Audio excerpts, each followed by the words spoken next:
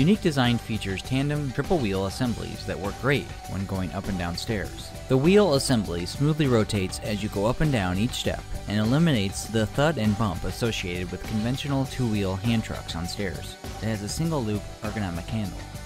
The steel stair hand truck is made of all steel construction and has a capacity of 300 pounds.